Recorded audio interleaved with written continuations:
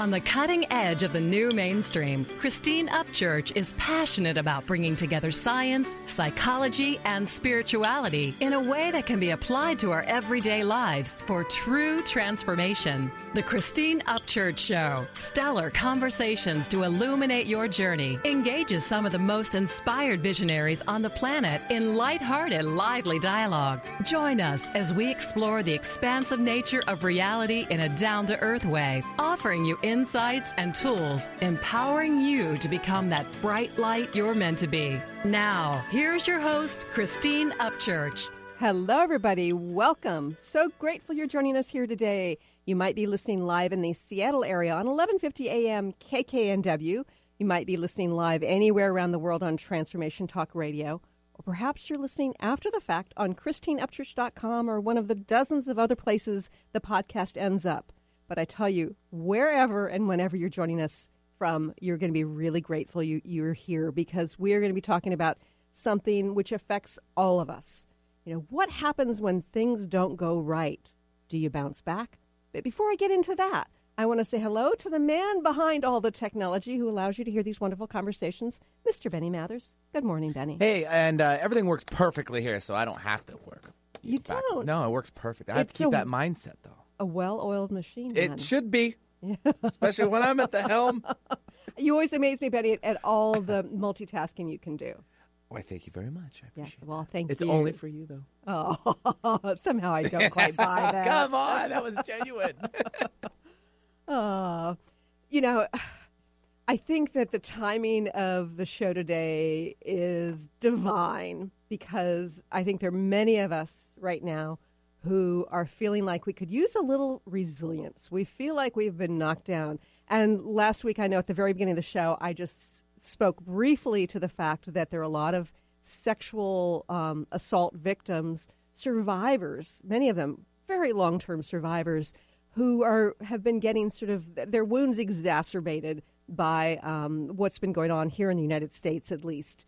Uh, and it's it's been a tough road for many. I, I know that there are many who are activated. I left everybody a message that's on the Facebook page from last week. Uh, I and I just want to reiterate: I stand beside you. Uh, but I'm really grateful of our guest today. We're going to be talking about resilience.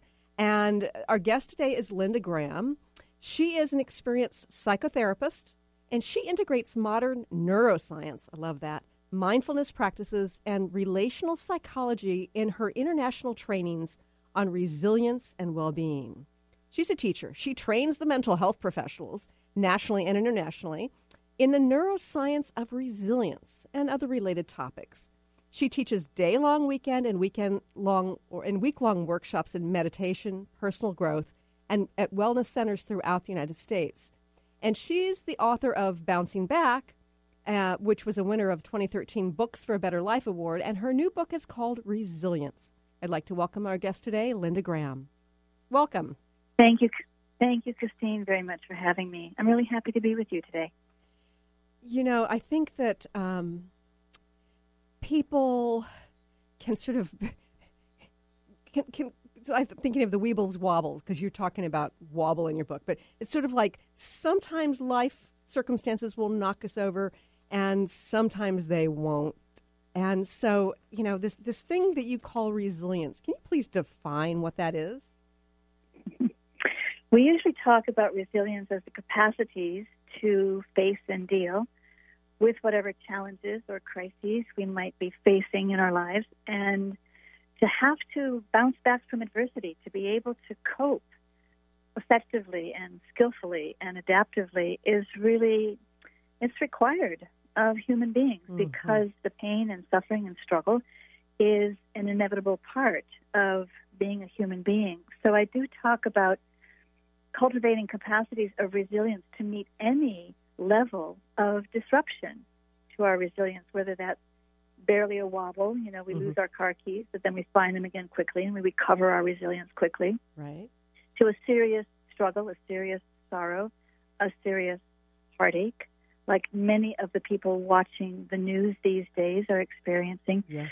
to really a full blown tragedy or a full blown trauma. where our capacities to cope are completely overwhelmed. Yes. So I see resilience as foundational. Um, we need it to be able to meet any disappointment, any difficulty, any disaster in our lives and come back into our sense of well being and thriving. And it seems to me, Linda, that there are some people who can deal with, you know, that just the annoyances of life. The the person who cuts you off on the freeway. The you know, like not being able to find your car keys, breaking that that vase that you so appreciated having. You know, as a hand me down. You know, whatever it is. And then there are others that are just like have a hard time dealing with the little things. What what's going on when we're having when we're feeling kind of overwhelmed and out of sorts when just the little things are happening? So the behavioral scientists talk about three factors that will predict someone's resilience. One is the severity of the external stressors. So it may be that we break a vase. It may be that our home is broken into. It may be that our marriage breaks up and we wind up in divorce. Uh-huh. So the severity of the the stressor is a factor. The strength of our external resources. Do we have family and friends and community to turn to? Do we have financial savings in the bank? Do we have medical services and social services and counseling services available to us? And the third factor is our own internal strength. And many people think of resilience in terms of grit, determination, um, the will to survive, our perseverance. Uh-huh. But the neuroscientists have come along and said that resilience is really a capacity innate in our being because it's innate in our brains. It's a capacity of response flexibility. It's one of the functions of our prefrontal cortex, our center of higher executive functioning. So you, that allows us- response. sorry, I just want to, you to repeat that. Response flexibility. Response flexibility. That we're able to respond flexibly to whatever is happening. So we can perceive what's happening and be able to shift gears, shift perspective, see things from a different angle, see things from a bigger perspective. Mhm. And when we can do that, that's the platform for being able to behave in new ways, not the automatic survival responses that we have or have learned, but in new ways that are more effective and more efficient. Mhm. So knowing that we can work with our brains to wire in new patterns of responding to challenge or rewiring the old patterns that don't work so well anymore, that's a tremendous gift that we can choose experiences that will actually help strengthen the capacities of resilience in our brain. Mhm. So you talk about rewiring the brain. Let Let's just first talk about how it gets wired initially.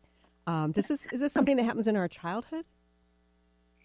So the brain learns and installs patterns and changes those patterns from experience. Always. The brain is always learning from experience. And any experience we have, any experience, positive or negative, will cause neurons in the brain to fire. When we repeat the experience, those neural firings repeat. When we repeat them often enough, then the brain begins to build pathways and circuitry and installs that pattern of responding as a memory, as a habit. So, So- yes, that's happening in our childhood Uh-huh. from early on. And depending on the experiences we have and how our people around us see us coping, if they see us as resilient or not, we will learn those tools of resilience and we'll learn that we are resilient. But when that doesn't happen or happen well enough as we're growing up, because the brain is plastic lifelong, um, even as adults, we can rewire the circuitry in the brain. So we can learn the tools that will help us do that now. We can make the choices that will help us do that now. Mhm. So that's where the optimism and the encouragement comes in. We can make the choices that will create new habits or rewire the old ones. And when we choose to do that and repeat those practices over time, we're actually changing the brain so that we do better in our lives. That's that's really exciting. Now, I just want to step back again into childhood. Can you give us an example of how somebody's wiring could go awry based on their experiences? What might get in the way of, of having healthy resilience being built into the, the neural pathways? Okay, so when we're talking about childhood and the experiences that build the inner secure base of resilience, when a child gets startled and they reach out for help because that's the natural human biological response to something that's a, a distress or a danger Uh-huh. is to reach out for help. If the parent, the caregiver, responds with attention, with empathy, with understanding, with validation, with help, then the child learns that they can be effective at getting help. They're important. Uh-huh. Um, they're learning behaviors that are skillful and valuable. And so that builds what's called secure attachment. But it really is the inner secure base of resilience. How that goes awry in two major directions. If a parent um, is not responsive, Mhm. if they're indifferent or neglectful, or if they're critical and judgmental and punishing of the child, then the child learns to kind of withdraw and mind their own business and, oh, I guess I have to do it all myself. Uh-huh. And so they develop a style of relating and regulating their emotions and responding to events in the world that can be um, very autonomous and very independent, but it can also be very rigid, not very flexible. Uh-huh. And people can get kind of defensive if, if something happens that they've not seen before or it doesn't fit their template of what they understand, it can be rejected. So there's not a lot of learning that can happen. And so it's what my colleague Bonnie Badenoch calls neural cement. It's Uh-huh. a kind of rigidity in our functioning, and we're not very flexible. Right. So, so I'm thinking hand- of con- some some control freaks I've known and have, have been in my own way. So, uh, what we would call being a control freak is someone perhaps who is frightened of the unknown, Uh-huh. of not having control, not having mastery, and so they manage the fear. It's really managing the fear Yes. by trying to be in control. It's a survival response. Right. And there are times when it will work. There's times when it's golden. But if that's the only tool in the toolbox, then we don't have the response flexibility that we need to Mhm. meet all situations. Okay. And then the other direction that this attachment business can go is if a parent is sometimes caring, but sometimes not, Mhm. sometimes absent, or sometimes even violent, when they're unpredictable. And the child really can't figure out how to stay in connection, how to stay in the connection that they need to survive. They need the protection to survive. Then the child winds up paying too much attention to the caregiver. Let me take care of you. Let me be who you need me to be so you'll take care of me. So there's an over dependence on a caregiver, but not enough depend not enough developing the sense of self so that Mhm. they know how to be resilient themselves. Right. So there's a kind of anxious style of relating to the world and responding to other people and responding to life events. Right. So that style Bonnie calls is neural swamp. It's a Mhm. little too chaotic. So there's learning that can happen, but it just kind of washes through like water through a sieve. Sure. So the idea of this resilience training is to become more flexible where we need to be, more stable where we need to be so that we can go back and forth between being stable and being flexible. And when we have choices about how we respond, then that's when we can truly be resilient. Mm. I'll This say is- one other thing. But and that's- hold, hold up that We've got to go, go to commercial break. But when we return, um, more about how to develop this resilience. Stay tuned for more with Linda Graham here in just a few moments.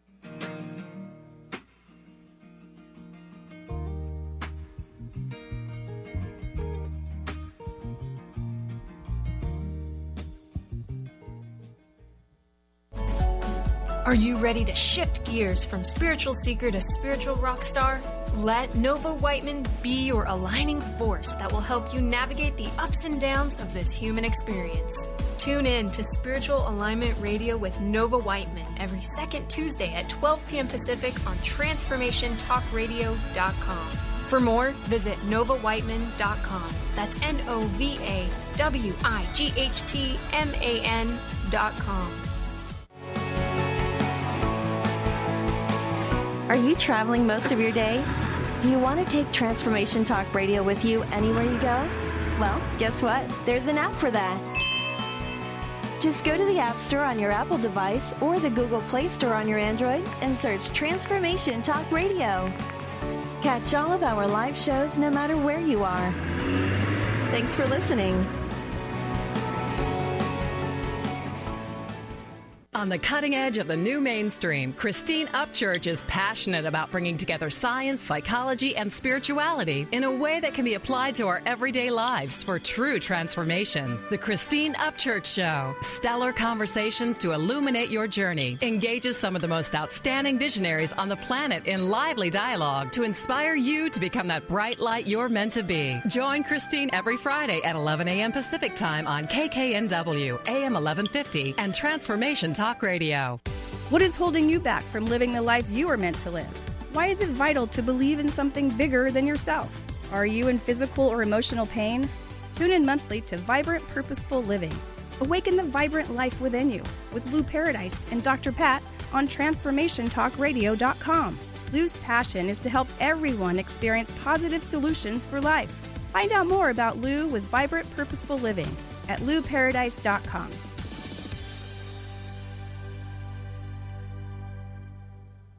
I'm Christine Upchurch, and this is a Stellar Reflections Minute. Years ago, when facing cancer, without any immediate treatment options, I sought healing by making various life changes. For a while, I followed a very restrictive diet. I often found myself obsessing about which foods were good and which ones were bad. Then one day, I realized I was consuming foods based on fear fear of not getting well. But I didn't want to make choices out of fear anymore. I decided it was far better for my immune system if I allowed myself to experience the joy that came from, say, eating frozen yogurt, than it was for me to ingest the fear that came from avoiding it. Now, instead of choosing healthy habits based on fear, I try to make choices because they feel right and ultimately bring me joy and ease. How many of your healthy habits are really based on fear? Please visit stellarreflections.com or call 425 999 9836. That's 425 999 9836. We were born before the wind, also younger than the sun. Yeah, the bonnie boat was won. Welcome back to the Christine Upchurch Show here on KKNW and Transformation Talk Radio. I love that song, Benny. Absolutely love that. Really? I do. I found yeah. a soft spot. you did. I will make a note of that. Uh, you know, um, I'm fascinated by this notion of resilience. And, and before we get into um, how to rewire the brain, so to speak, how to create new approaches so we can, can become more resilient, are there any other things in childhood that can happen that prevent us from having that, that, that wiring done so we can become resilient? Yes, and thank you, Christine, for coming back to that. So it doesn't happen all the time, of course, but it does happen that if a parent is disorganized, if a parent is in trauma, if a parent has unresolved grief, if a parent is violent or addicted, then the child experiences a lot of confusion and fear around the parent that they're supposed to be able to go to for mm. help and for protection. And so the child develops themselves a disorganized style where they're not stable or flexible. They're kind of confused or paralyzed and can even go into a lot of dissociation. So there's been studies done now about what's called the adverse childhood experiences, the ACEs studies, that when a child experiences too much sexual trauma, physical trauma, emotional trauma, neglect, if there's violence or addiction in the home or in the neighborhood, in the community, then the trauma that the child is experiencing, it's not their character, it's not their personality, but the trauma that the child is experiencing impacts the development of the brain. So they actually have less resources available to do the resilient coping or to even learn how to do the resilient coping. So when that happens, then a good trauma therapy is what's needed to help the person not only come out of the trauma and come into a, a strong, authentic sense of self again, but to kickstart the development of the brain so that it mm-hmm. develops the capacities in the higher brain to be resilient. So, So it's just important to know that can happen. you've talked about three different types of dysfunction that we can experience growing up as children. Um, and after talking about all those different, you know, issues, it seems like we probably have a whole population where most people have not developed proper resilience. Well, um, I would say that people don't always have all the tools. They don't have all the capacities developed. That capacity is innate, and it can be recovered. so when I work with my clients, I don't say that they don't have resilience. I say they don't have the tools that Oh. they need to recover or strengthen their resilience. Okay. And so we work on rec- on using those tools. okay. So, what are some of the tools? Okay. So, um, as you know in the book, I organize the tools um, in the book Resilience. I organize the tools by five intelligences because that's how the brain develops and learns everything in the first place from the bottom up. Uh-huh. So, you begin with somatic, body based intelligence, tools of breath and touch and movement and visualization because that's how we're perceiving and responding to a sense of danger, a sense of threat, a sense of upset. And so we learn those tools of, you know, a deep sigh that resets the nervous system, the hand on the heart that brings calm to the nervous system again, juxtaposing a, a tense movement with a calm movement to bring the body more into its range of resilience, its Mhm. equilibrium. Mhm. So I start there with the clients because we really need to be in that sense of equilibrium, calm steadiness in the present moment so that the higher brain can come back online Mhm. and decide what we're going to do and how to deal with whatever we're going to do. It, it's interesting, Linda, that you talk about sign because it, it, it brought to my mind um, back in the 1980s when I was facing the early stages of cancer and doctors had nothing to offer me and I was sort of in this, you know, dark night of the soul. I spent a week at an ashram and I was kind of perplexed as I wandered around. The people who lived there generally were doing a lot of sighing, and I thought this feels really strange. This is, but by the end of the week, I was I was sighing as well, and it felt really good. What is it about the sighing that helps shift things within the body? Okay, so when we breathe in, every time we breathe in, it activates the sympathetic branch of the nervous system. So we rev up, we activate a little bit, Uh huh. a lot if we're scared and we're hyperventilating. Um, every time we breathe out, we're activating the parasympathetic branch of the nervous system. That's the calming branch. And so we're calming the body back down. You breathe in to activate, you breathe out to soothe. And that's the natural rhythm of the breath. You can activate the parasympathetic too much, you can calm down too much, you can literally faint. Uh-huh. But when we're in this regular rhythm, a sigh is simply breathing in, activating a little bit, and then exhaling deeply, calming down more. So you're actually resetting the nervous system, bringing it back into this balance. And Uh-huh. we can do it intuitively. I teach my clients anytime there is a moment of tension or frustration to deliberately pair that with a sigh, to deliberately sigh in those moments, and it Uh-huh. helps reset the body brain. Interesting. Interesting. Okay, so you you talked about somatic, and, and um, what's the next one? Okay, so the next one is emotional intelligence, and it's really important because we experience emotions every moment of the day. We're constantly having an emotional message about our environment, our people environment, Uh-huh. our physical environment. And so it's important to be able to be with and learn from those emotional messages rather than feeling hijacked or flooded by them, and rather than shutting down or pushing them away, trying to repress them, because it, it takes an, an enormous amount of energy to do that. Okay, Linda. So you I know, I, I think- that I'm sorry to interrupt, but I think that there are um, there's a, a whole branch of people in, within the spiritual realm who think that they need to bypass the emotions. They think that the emotions are ego based. Um, what's the purpose of an emotion, and and why should we pay attention to it? Okay, so emotions are, they're actually sensations waving up from the body that say, something important is happening here, pay attention. That's the purpose of an emotion, is to get us to pay attention and then to take some wise action. Okay. So whether we're feeling anger, that might be a signal to protest a betrayal or an injustice. Uh-huh. If we're feeling sadness, that might be a signal to reach out and pull other people in for comfort and support. If we're feeling fear, it might be a signal to get away from Right. something or someone Uh-huh. that's dangerous or toxic. So even the emotions that we deem negative um, actually have a purpose. And when we can recognize and honor and be with that purpose, then we're more able to keep our brain online and decide what the wise action would be. Okay. So there needs to be an I- acceptance and awareness, and then decide what the action is.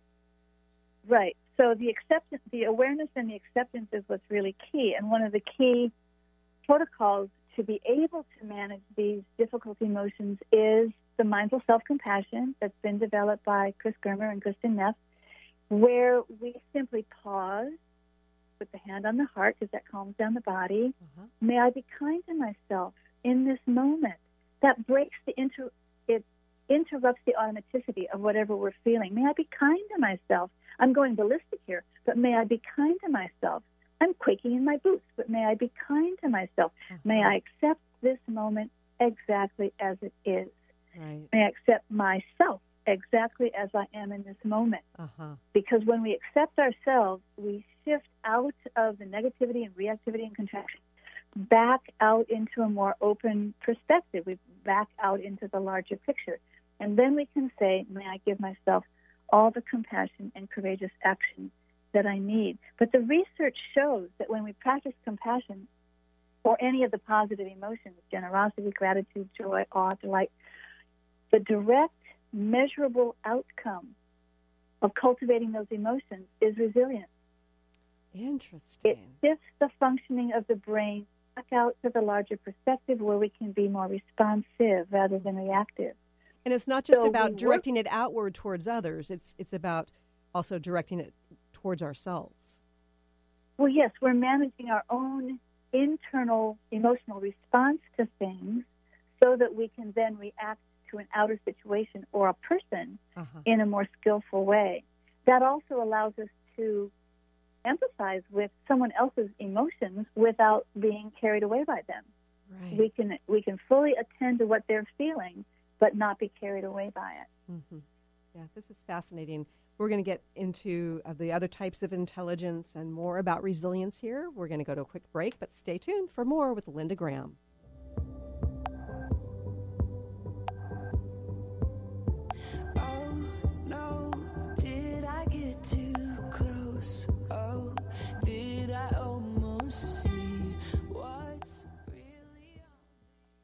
What is holding you back from living the life you are meant to live?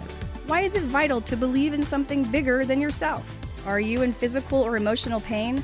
Tune in monthly to Vibrant Purposeful Living. Awaken the vibrant life within you with Lou Paradise and Dr. Pat on TransformationTalkRadio.com. Lou's passion is to help everyone experience positive solutions for life. Find out more about Lou with Vibrant Purposeful Living at LouParadise.com.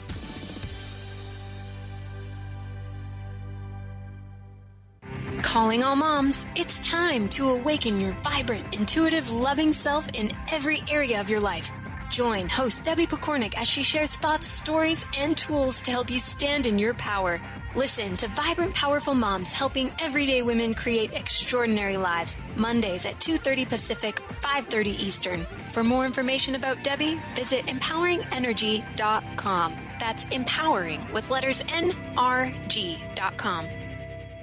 Did you know that all of the shows on the Transformation Radio Network are available as podcasts to stream or download? Really? Check us out. Go to transformationradio.fm. We have business shows, spiritual shows, energy healing shows, and pretty much everything in between. Something for everyone guaranteed to inspire, educate, and transform. We are transforming the world one listener at a time. Conscious Confidence Radio, a timeless wisdom with Sarah Main. Tune in each month on Transformation Talk Radio and join Sarah on an adventurous journey to the deeper level of meaning to move beyond today's world of constant change, confusion, and uncertainty beyond the shadow of fear. This hit show explores key concepts such as confidence, values, and attitude in a dynamic way. To learn more about Sarah and her work, visit sarahmain.com. Miss any shows during the week? Don't worry, we've got you covered. With the free Transformation Talk radio app, you'll have access to all of the past week's shows in the palm of your hand. Tune in to Transformation Talk Radio anywhere you go with our free app for any of your devices. Check out our app in the App Store and Google Play Store today. On the cutting edge of the new mainstream, Christine Upchurch is passionate about bringing together science, psychology, and spirituality in a way that can be applied to our everyday lives for true transformation. The Christine Upchurch Show, stellar conversations to illuminate your journey, engages some of the most outstanding visionaries on the planet in lively dialogue to inspire you to become that bright light you're meant to be. Join Christine every Friday at 11 a.m. Pacific Time on KKNW, AM 1150, and Transformation Talk Radio.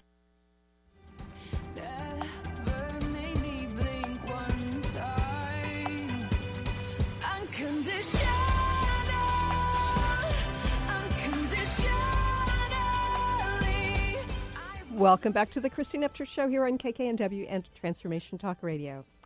I'm having a conversation today with um, psychotherapist Linda Graham. She is the author of a couple of books. Her latest book, which is hot off the presses, it was it, it, it got launched on Tuesday, is called Resilience: Powerful Practices for Bouncing Back from Disappointment, Difficulty, and Even Disaster.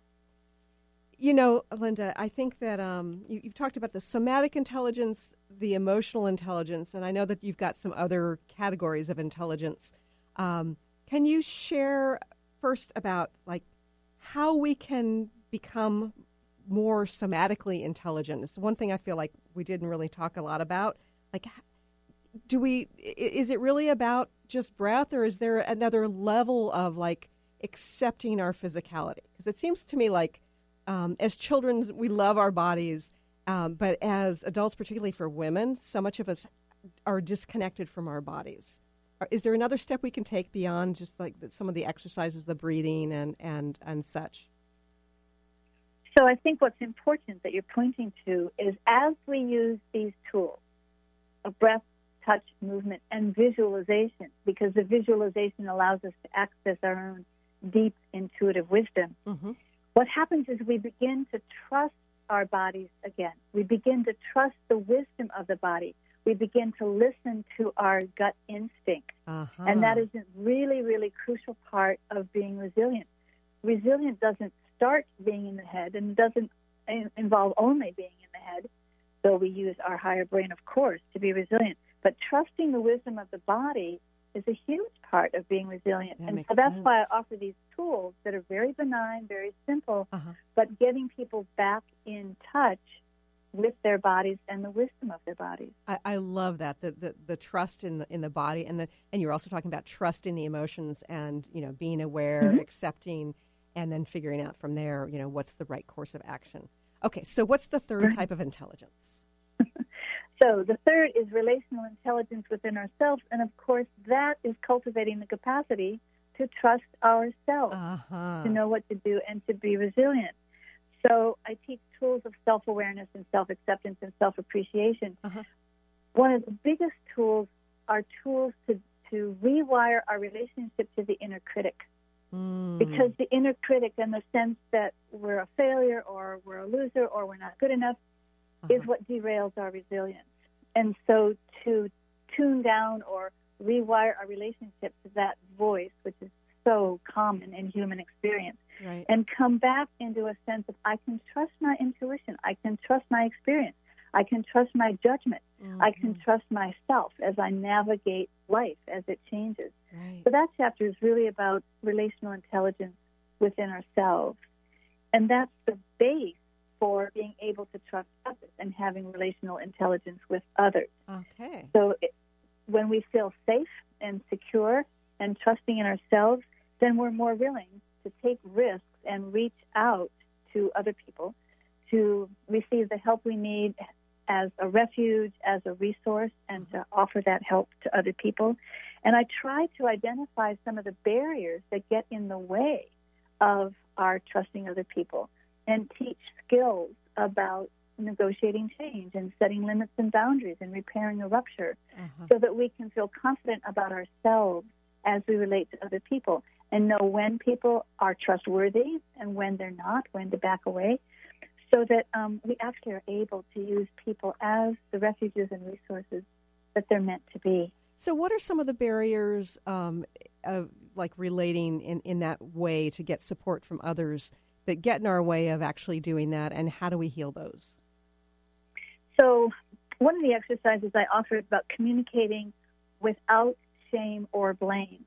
Because very often in any relationship, especially the more intimate it is, it's so easy to get caught in I'm right and you're wrong, Uh-huh. or get caught in fear of you know being criticized or judged or ridiculed by the other person.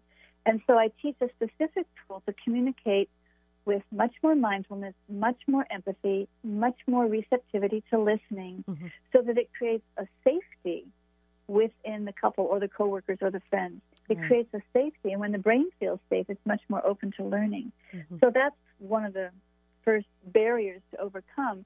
And then the other one is to be able to negotiate change, to know exactly what would help Uh-huh. in this situation. What can the other person do? What can I do? Taking responsibility for what I can do, Uh-huh. and being able to state those needs clearly so they have a chance of being met. So, very practical, very basic, down to earth kind of tools. So, what happens when, um, for whatever reason, we've developed trust issues with others, and, and trusting that we can get the support or the the the love that we need? Well, if we've not received Uh-huh. enough of that trust or safety coming along, then we're going to be wary. Um, we may not trust our capacities to know if another person is trustworthy or not, Right. Oh, and we may not be able, we may not be able to discern whether they are or not. So a lot of the healing of that is being able to attune more carefully and accurately to what we're perceiving, what we're experiencing, what we're feeling. And to be able to perceive accurately what the other person is feeling, what's driving them, what's uh-huh. motivating them, Yeah. where are they really coming from. And so, again, that's drawing partly on the emotional intelligence, getting really skillful with our emotions, another person's emotions, so that we actually can communicate what we need and respond to what they need. Mhm. And you talk about one other type of intelligence. What is it?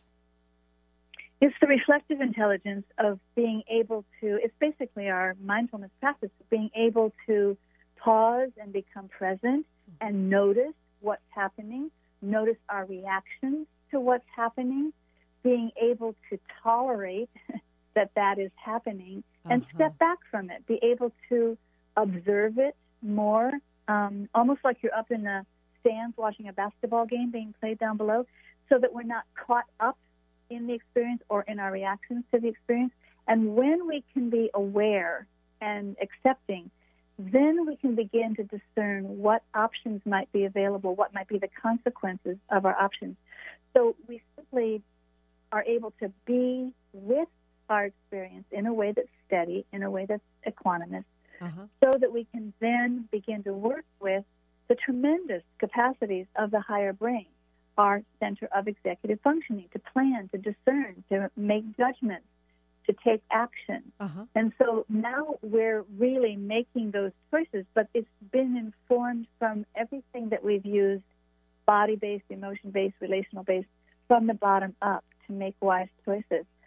So, for instance, one of the tools that I teach is a, is a way of being aware of how we're relating to something. Mhm. And the exercise is simply change every should to a could.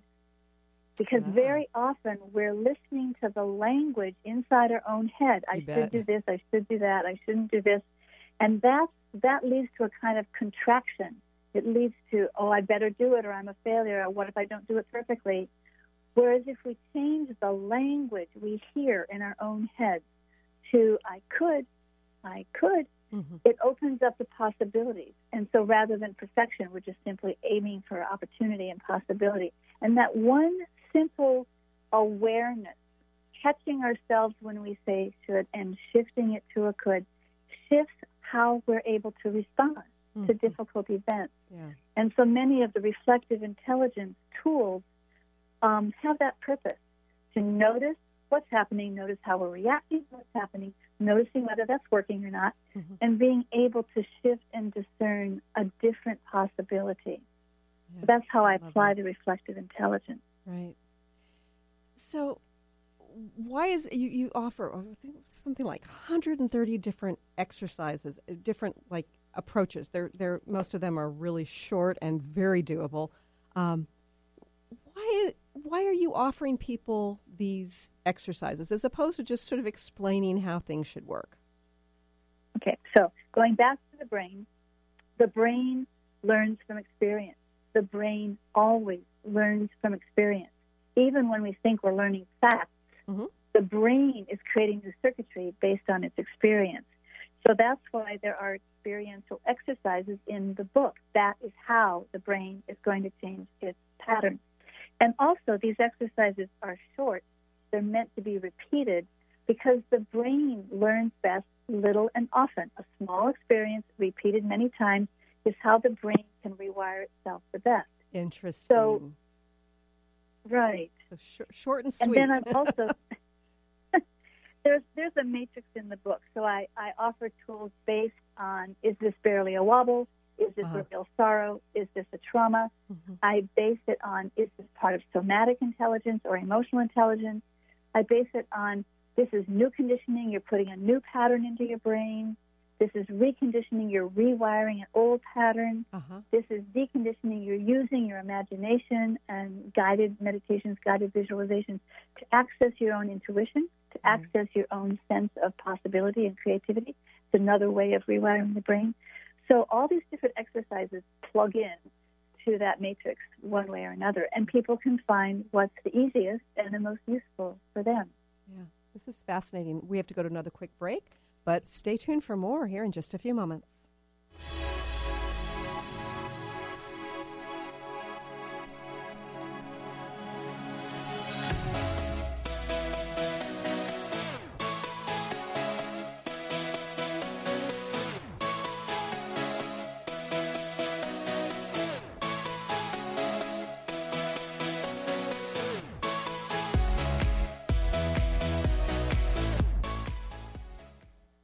Did you know that all of the shows on the Transformation Radio Network are available as podcasts to stream or download? Really? Check us out. Go to transformationradio.fm. We have business shows, spiritual shows, energy healing shows, and pretty much everything in between. Something for everyone guaranteed to inspire, educate, and transform. We are transforming the world one listener at a time. Have you been seeing numbers like 111 and 222 everywhere you go? Do you feel that the universe may be trying to get your attention, perhaps offering a message of some sort?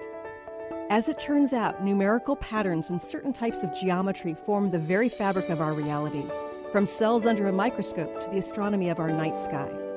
At Stellar Reflections, we offer special sessions which tap into these patterns, designed specifically to support you on your journey. The 111 and 222 activations are sessions activating new patterns in your energy field, which in turn can help you create new patterns in your life. After just one session with a practitioner, either in person or via distance, clients report gaining greater clarity, becoming more intuitive, and honoring their inner truth as they move forward in their lives. Curious about what these transformational sessions might do for you? Call 425 999 9836 or visit stellarreflections.com. That's stellarreflections.com. This is Peggy Snow, practitioner at Stellar Reflections, with a Stellar Reflections Minute. So many people these days are trying to find ways to relieve their stress. What happens to our breathing when we're feeling overwhelm and stress? When we tune in, we realize that we're either holding our breath or taking very shallow breath.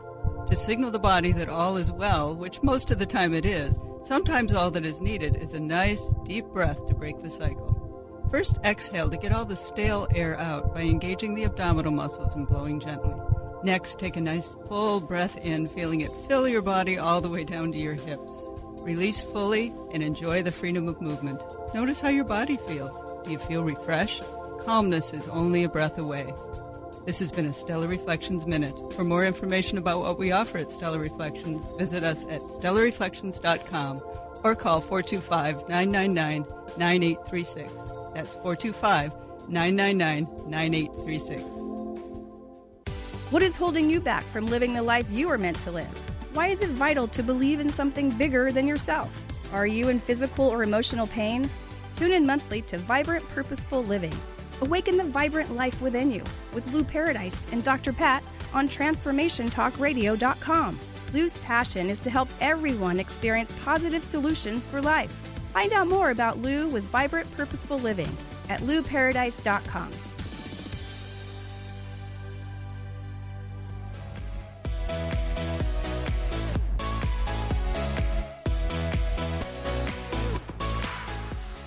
Welcome back to the Christine Upchurch Show here on KKNW and Transformation Talk Radio. You know, Linda, this hour is flying by. Before we go any further, I want to make sure that our listeners have an opportunity to find their way to your website and to learn a little bit more about what you offer. So the website is Linda Graham dash M as in Mary, F as in Frank, T as in Tom dot net. I'm a marriage and family therapist. So Linda Graham dash MFT dot net. And what's archived on the website are um, many in- video interviews with other experts on resilience, sharing what's been helpful to them in mm-hmm. recovering their own resilience. There are audio recordings of many of the exercises from the book. All the weekly resources for recovering resilience that I post every week are archived on the website. So there's many, many resources available. It's all free and easily downloadable. There's also a calendar of my upcoming trainings and webinars because there's actually quite a lot being offered at this point. So it's easy to find out what and where someone can tune into that. So you train both both therapists and just individuals who want to learn more, right? That's right. And you know what? Therapists are also individuals who want to learn more. Absolutely, so, yes. So we have a clinical training. Uh-huh. I'm finding that people are learning for themselves as human beings, Uh-huh. as well as professionals who work with patients. Right. Well, it, it, it helps to be a teacher when you walk your talk. So that, that makes That's perfect right. sense. That makes perfect sense. Okay. So um, you've offered some valuable insight about how to develop resilience. Uh, it- you know, especially if it has not been like pre-programmed into us, you know, growing up. Um, can you share a, an example of of somebody who sort of used these approaches and become more resilient? Okay, so um, I have my own story that I tell in the book. This is a true story. It's how it happened. So I do teach a lot. And last year I was teaching at Shivananda Ashram Yoga Retreat Center in the Bahamas. It was their 50th anniversary, so they've been there for a while. So I flew I flew cross country. I flew to the Bahamas. It was late. It was dark. I was tired, and I was supposed to step from the dock to the boat that would take me to the island, Uh-huh. and I missed the boat. So I went right into the ocean, Oh no. and I shock, shock. I grab the boat. I come back up, and the first thing is I'm alive. That's the first thing. I'm alive. Second thing is my backpack's on my back, and my computer is in my backpack. Uh oh. So one month before the manuscript for this book is due, I know that my computer is completely fritzed. Oh dear. The third thing that goes through my mind is, but Linda, this is just data. This is just your computer. I, we've been through the fires here in Northern California. My home had not burned down. My business had not burned down. This was just my computer. Right. So I had a four day laboratory of watching myself use these practices to be resilient. I was teaching workshops on mindfulness and resilience and post traumatic growth, but I was watching myself. And what I noticed is the first thing that had to happen was regulating my nervous system. Mm-hmm. Just hand on the heart, deep breathing, breathing in the phrase, I, breathing in, I am alive, breathing out, I am home. Using my breath, using my hand on my heart to calm down my nervous system so that my higher brain could stay online and I could figure out how to deal. Uh-huh. Another way of coping was gratitude. I was very, very fortunate that a book in my luggage had not got one, and it was Gratitude Goulash by my friend Doug Von Koss. So I was reading gratitude Appropriate. every day. Uh-huh. I had I didn't have a my cell phone was also in the backpack, so I had no communication with my friends back home. But the community of people at the ashram dedicated to service and peace and love, so supportive, so generous that I could reach out and find that sense of refuge and resource, that safety net with other people. And then I'm using my mindfulness to watch how am I coping. My tendency is to catastrophize. I see the worst in three seconds. And so what I had to do was make a list of everything that I had to do when I got back home Tuesday morning at 7:30 to take my computer in. I made the list and then I parked it in mm-hmm. the future. There was nothing else I could do. Right. So that was the end of the catastrophizing. I made my list and I knew it would be taken care of on Tuesday, and so I could spend the time teaching that I needed to spend. So those those I'm emotions of, of panic and, and, and so on, um, and fear, you, you acted on that by creating that organized list. Love that. Well, that's one way. I mean, I know that I can cope with anxiety and fear by getting busy, making lists, and feeling productive. Uh-huh. Yes, that is one way I have Right. of coping with fear. But first, my hand on my heart and the deep breathing Yeah, and right, the gratitude and pulling in the support of other people first. Yes. And then I made the list. Uh-huh. So as I'm going through these four days, I realized, oh, these practices work. I could make a list of the practices I was using that was helping me be resilient. But the main learning, so one of the things we learn in post traumatic growth is that eventually you come to appreciate the learning that happened, not in spite of the event, but because of the event. Right. And because this happened the way it happened, I could see the lessons I was learning. And one of the biggest lessons is oh, resilience is trainable. I've been doing these practices for many years now, and it showed up the moment I needed them. How So perfect. that was the, yeah, that was the big lesson that we Uh-huh. can train resilience. It shows up when we need it. Okay, Linda. So, um, you know, I know that it was very stressful to, you know, to lose the functionality of your computer and your phone. What about when we get to more extreme situations, such as the loss of a loved one, the loss of a child, um, you know, something, the, the, the end of a marriage? What about the big things? So we practice being able to meet the big things by doing the little things all along. So you're practicing your resilience, driving in traffic, and, and you know getting your tax so that those capacities, those skills are there when you get the IRS audit, or when you get a subpoena for a divorce, or when you get a, a cancer diagnosis, or when you lose a home because there's been a flash flood. Right. We're right. practicing all along.